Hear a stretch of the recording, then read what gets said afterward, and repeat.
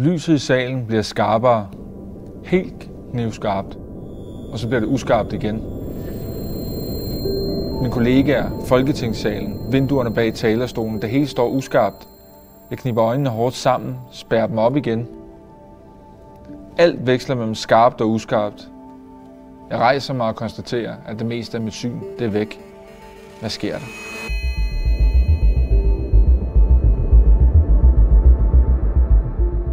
I 2021, der blev jeg så syg med stress, at jeg næsten mistede synet og måtte sygemelde mig fra mit arbejde i Folketinget.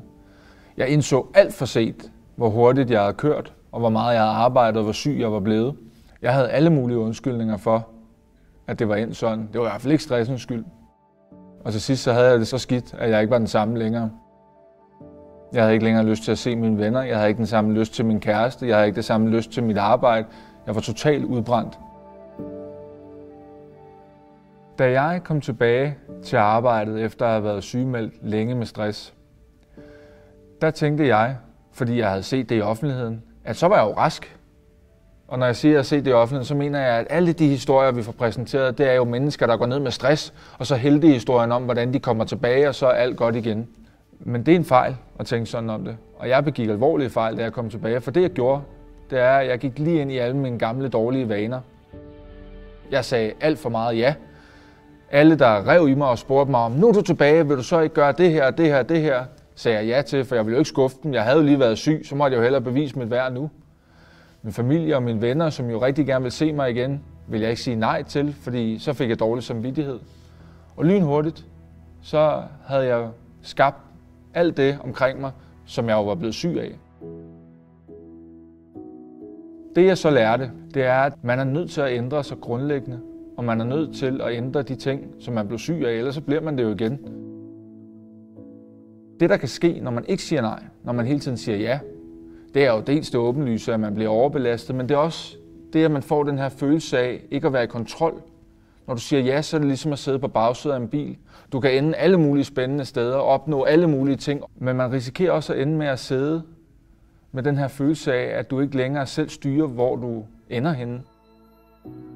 Så jeg er begyndt at sige mere nej, også selvom det nogle gange giver mig dårlig samvittighed. De gange, hvor jeg afviser og tidligere havde sagt, jeg kan ikke, så siger jeg, jeg vil ikke. Og det synes folk nogle gange er lidt underligt, og er jeg sur på dem, men det er jeg ikke, og det siger jeg også til dem. Jeg siger bare, jeg vil ikke være syg igen. Jeg vil ikke med synet igen. Jeg vil ikke nå derud, hvor jeg ikke er social igen. Jeg vil ikke være stresset igen.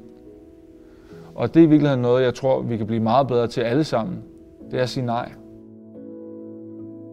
Når du siger nej, så passer du på dig selv, og så risikerer du at få det godt. Så siger du også rigtig ja, når du så siger ja.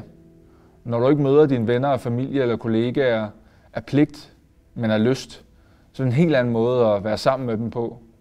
Så lever man, så overlever man ikke bare. Det er noget af det bedste, jeg har lært.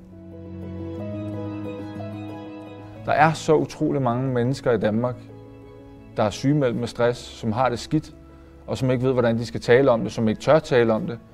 Jeg håber på, at når man læser min fortælling, at når man læser min historie, og hvad jeg var igennem, at så kan jeg være med til at ændre en lille smule ved den kultur, der har været i Danmark, hvor vi bare siger, at man skal tage sig sammen, eller man så op, eller man skal hurtigt i gang igen, og så skal det nok gå over. Stress er en frygtelig sygdom. Man kan godt komme over den. Det kræver, at man bruger sine følelser, og jeg håber, at det kan jeg bidrage med med den her bog.